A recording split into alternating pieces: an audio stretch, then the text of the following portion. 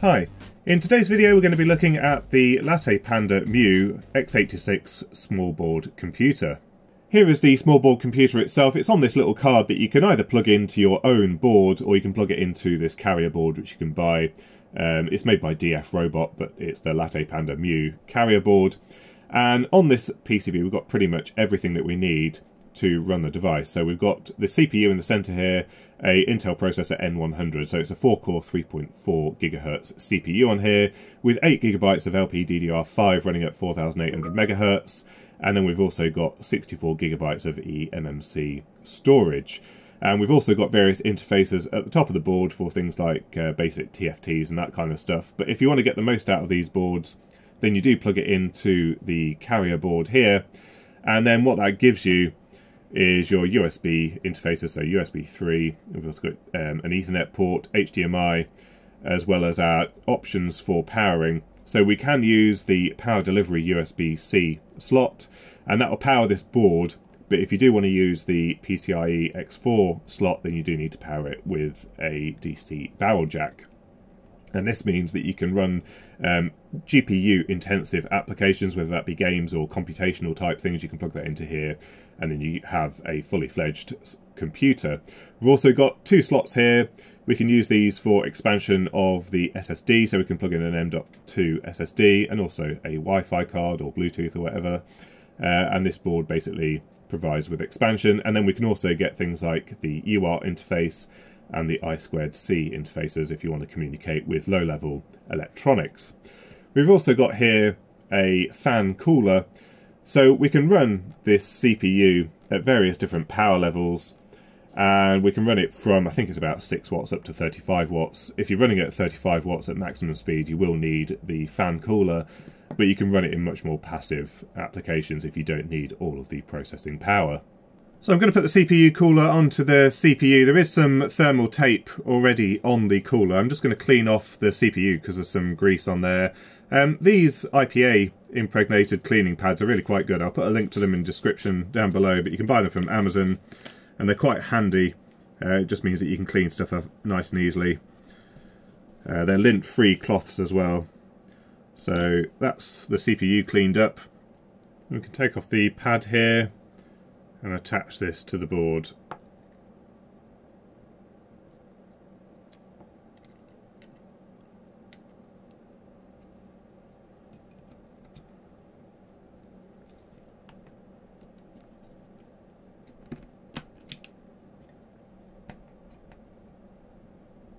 So we've got the little M.2 2230 SSD here. Now you don't actually need this to run the device, this just gives you additional storage. This is a one terabyte uh, SSD here. Let's see if we can screw this into place.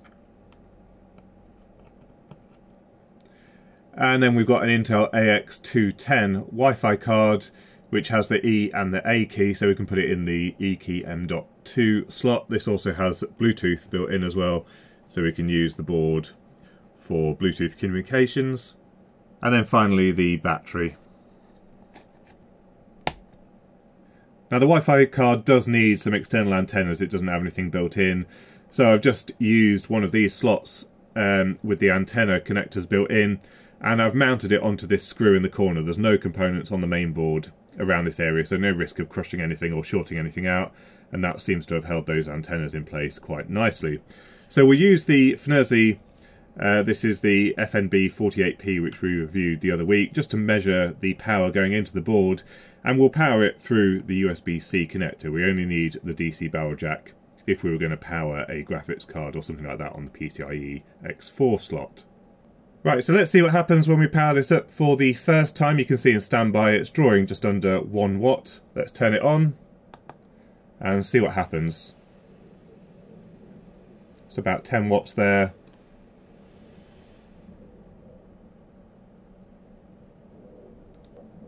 So it seems to be loading something.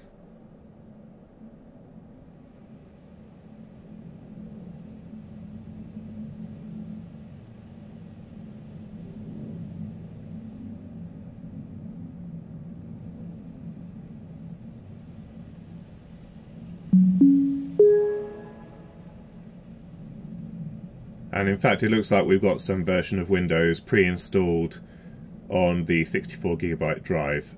So just as it's booted up, you can see it's drawing about 7.5 watts with a few peaks, probably as Windows is doing a few things. And you can see here we've got details of the processor currently running at 800 megahertz with 8 gigabytes of RAM as we mentioned before. And it's installed Windows 11 Home. And as soon as we connect to the internet, you can see there's actually no license for Windows. So if you want to use Windows on here, you will have to buy a license separately. Just going through the BIOS, I don't think there's any surprises in here, but if we do want to limit the amount of power that the CPU can use, for example, if we have a power limited supply or we don't want to use the CPU fan, we can adjust the power limits here. And we've got two here, 15 watts, which is the normal, and then 25 watts for turbo. And if we want to adjust those, we can do that here.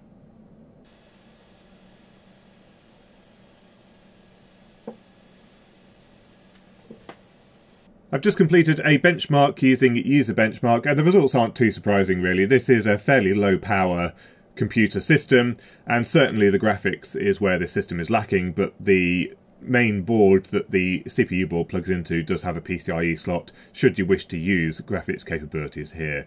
But other than that the Intel N100 here is performing just slightly better than some of the other N100 systems out there graphics capabilities, so the integrated graphics is pretty poor in comparison to other graphics cards. And the memory is working quite well, but it looks like there may be an opportunity to increase the performance if we can enable XMP uh, for that particular RAM chipset that's on the board.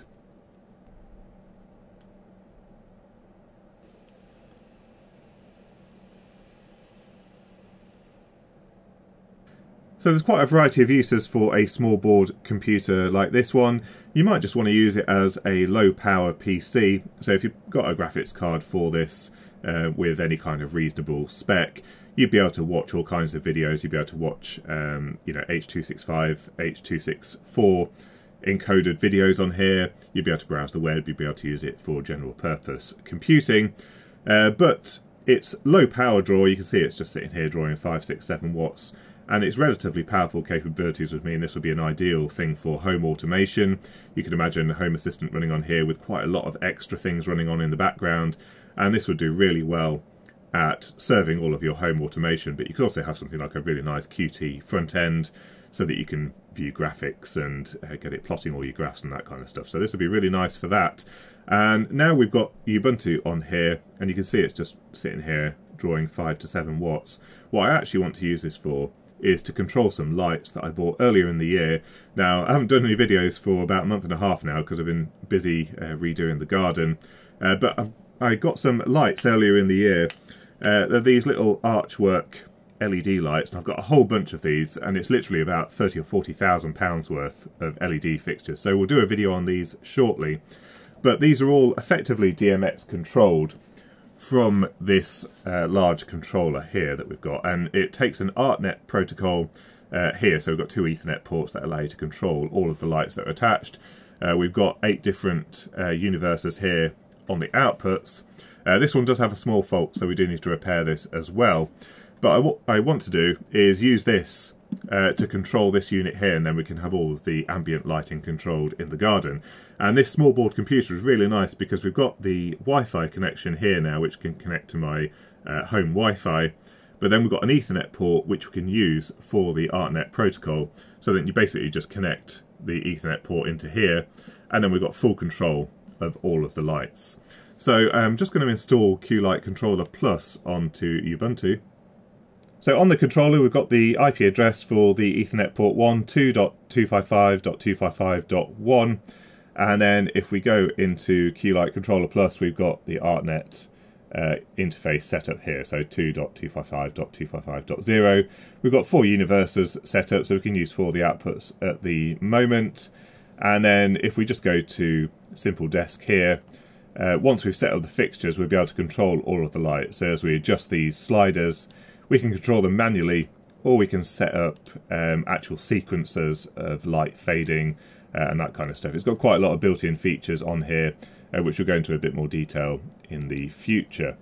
And so as you can see, we can actually control these lights, but as I said, a repair is needed. And also we'll take a detailed look at these lights in one of the next few videos because this system was really, really expensive when it was new. And it's got some interesting design decisions, which I think will be interesting to share with you.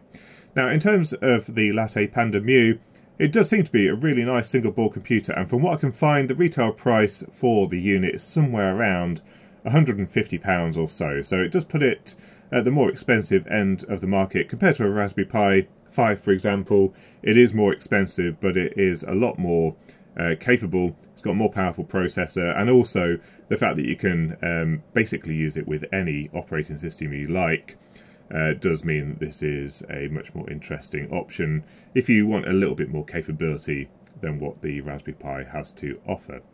So anyway, uh, that's the LattePanda Mu, a really nice little small board computer.